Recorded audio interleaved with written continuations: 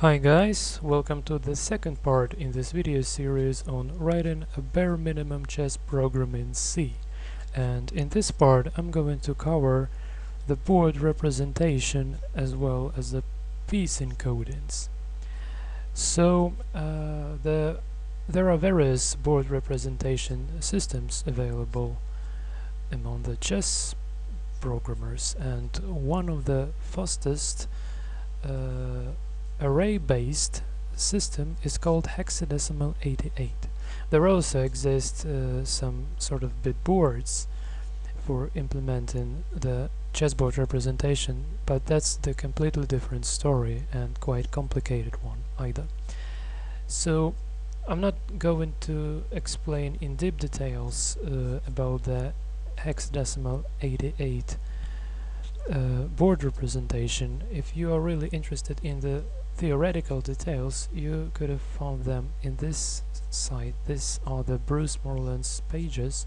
Bruce Moreland is one of the most notable chess programmers ever, and his uh, chess programming theory is stored at webarchives.org and I'll put the link into the description below the video. So this is the detailed explanation of the hexadecimal 88 system and I'm going to cover this only from the practical perspective. And as this was already mentioned in the first part of this video series that it helps uh, with the using of a single if statement to define whether the square is on board or it is not. So you have to just uh, perform the bitwise AND operation of the square number and the constant value of hexadecimal 88 and here another thing arises it's the bitwise operations. You really have to be familiar with the bitwise operations in C and all the required information could have been found in this simple uh, Wikipedia article that covers all the basic bitwise operations. And uh, this would allow you to understand of what's going on in this uh, particular series for lots of bitwise operations are gonna be used. But uh, when I was learning to code and I didn't uh, read uh, kind of books uh, I just I didn't really want to start to learn to code. I just wanted to write a chess program one day. This was for about three years ago or something. And then I've, I found a video series by Bluefever Software which is called the chess engine in C which many of you has probably already found on the YouTube. And there when the it was about some bitwise and uh, and or some bitwise operations uh, the uh, man who has made this made that series uh, he he covered the bitwise operations right in the video and I want to follow his example because uh, in order to explain some terms related to the piece encodings uh, really requires understanding some bitwise operations. So our board is uh, represented as a one-dimensional array of exactly 128 uh, elements and the first 60 well not the first well, the, the visually it is represented as two-dimensional array but from the computer's perspective it's a single line of uh, digits yeah. So the left part uh, left 64 squares repre represent the actual board position while the right part represents the positional scores and this was already covered in the first introductional video so please check this out if you want to know a bit more details about this. And uh, these numbers here are the uh, encoded values of the pieces. And these values are not random and they are designed to be the mo to, to make it the most easiest way to define whether the piece is black or white or to extract the piece type using again the bitwise operations. And uh, the original information about this particular piece encoded can be found here in pages of H.G. Muller in his uh, tutorial on micro-Max minimalist chess engine. So uh, let me start some explanations. Uh, when we talk about the binaries, then we, we, we have some bits, yeah, and say the rightmost bit is like the first one, and we go then in this order. In real life, this might not be like so for the the big endian and little endian uh, orders uh, to represent the bits in the number, but it depends on the architecture. But that's not the point now. So the first uh, uh bit uh, is worth of 1, the second worth of 2, then 4, 8, 16, 32, 64 and so on. And this means if we say we have this number, yeah, so this uh, value is set to 1, that we know that the value of this particular uh, number in binary in it, in order to convert this into decimal we look here and we see that this is just 1 yeah we look at this at this number and the bit 8 or this is called the eighth bit. Yeah the eighth bit it's actually one two it's the fourth uh, if count from here but it's called usually the eighth bit. At least H.G. Muller uses these explanations. And as far as this bit is set to 1 this means that the value of this particular number represented in binary in decimal is 8 and uh, uh, what happens here? We perform some bitwise OR operation and uh, this is the how we actually do it. So if we want to uh, perform the bitwise op operations on these two numbers then the resulting number would be this one. And if you don't understand how this is going on take a look at this explanation or take a look at this Wikipedia article which would explain this in greater details and now we um, uh, we can see that this number has to be converted to decimal and we see this is worth 1 and this is worth 8 and now we have to add all the uh, bits that are set to 1 so 8 plus 1 is 9 and that's the value of the white pawn. And uh, just exactly the same for all of the other pieces uh, can be viewed over here. And what are these 8 so a thousand is a decimal 8 and the 10,000 is a decimal 16 it's not actually 10,000 it's actually 10000 and so this is 1000 so on. So uh, the color in this uh, particular implementation is represented uh, if the bit 8 if this bit is set then this means that the color of the piece is 8 and if this particular bit is set that this that the, then the color of the piece is black. And also here is a virgin bit but it's involved only when we are talking about some uh, and and uh, en passant captures. As far as we're not going to cover in this I'll just remove it for this scheme was taken from my earlier engine that did actually perform some en passant capturing as well as, well as so uh, to encode the piece, uh, th so, so the piece encoding consists of two major parts. The first part is uh, this num these numbers repre represent the type of the piece, and so the queen is the type.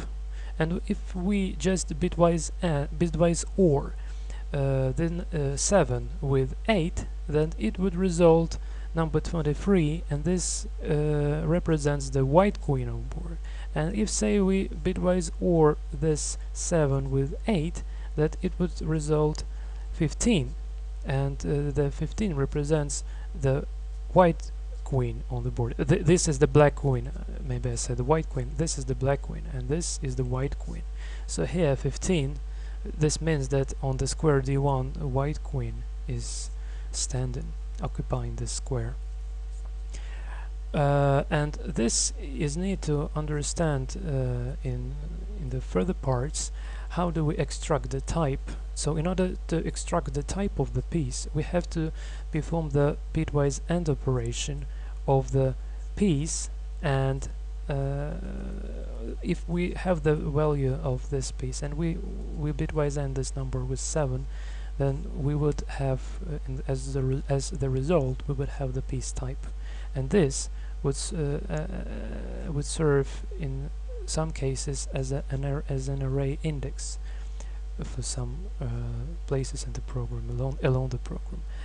And uh, if we actually try to bitwise AND uh, this particular number with number of 15 which in binary looks like so that this would allow us to obtain the index in this array and this array is, is, used to print the uh, board on screen and this array uh, is using ASCII characters to represent pieces on board.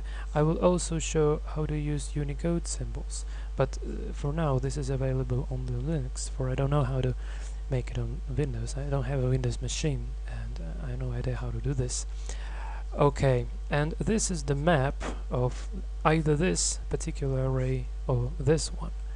So this means it goes the first empty square, when then we skip one square, then the black pawn, and see this is 0, 1, and now it's 2.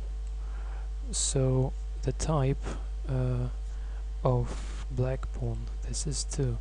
And then it goes black king, 3, 4 and so on but also uh, this uh, this values are not the the raw type but they are already like a pieces and we would perform some little math in future in the print board function in order to get uh, the index, the particular index in this array. So as an input we would have uh, uh, encoded piece value and uh, as the output would have a particular index in this array to represent the correct piece on board. So we say we are in this square and we say that the value, the encoded value of this piece is 13 that you should have print white bishop. So it would in the result give this index. Okay and now let's see the print board function itself. I'm not really going to type the code to save the time. Uh, the explanation takes a lot of time as well. So I'll just uh, go in this manner. I will be preparing the code uh, to the video and then briefly explain what it does.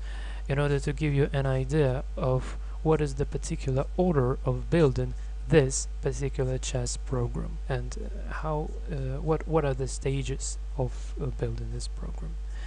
So the very first thing we would like to see and this uh, would be also needed for uh, debugging uh, information for providing some debugging information so we need to print board. So this is the void function. It has it doesn't return any value. And we what we do here first we loop over all of the board squares and then uh, forget this line for a while for a while. Let's see this line here. So we want to print a character one of these characters. And we just uh, uh, here we ask if the square is on board if the square is off board then uh, add 7 to it. So this means like we are going around the squares. We are we're in this square number 0 1 2 3 4 5 6 7 and now we are we found ourselves in this uh, in this uh, uh, index 8 and this is overboard and uh, as far as this is defined we just add 7 1 2 3 4 5 6 7 and then we find ourselves in this uh, index number 16 so we're on board again. That's a tricky way to make the print board function very uh, very uh, tiny uh, from the perspective of code size. And uh, here we want either to print the new line or the actually the one of these pieces. So in case if we find ourselves of board then that means that we have already printed the characters for all of these particular pieces and now we're here. So what we need to do here is just to print a new line. So this is the new line printed in case we find ourselves off board and in all the other cases we actually have to print some piece. So we uh, now we are now referencing the pieces uh, array. And uh, the board square is the uh, content of each particular uh, square on board and we have to perform this bitwise AND operation with the constant value of 15 which was explained before in order to obtain the index of a particular corresponding letter to the given piece. And now let me just compile and run this program to see to to show you how this actually works. So I'm using the GCC compiler on Linux. Uh, you could have do the same or you could have used any IDE this is the one file engine so it's really easy to compile and run. And here we see the board has been printed. No additional information as the site to move yet so just uh, a, a more like human representation of this array over here.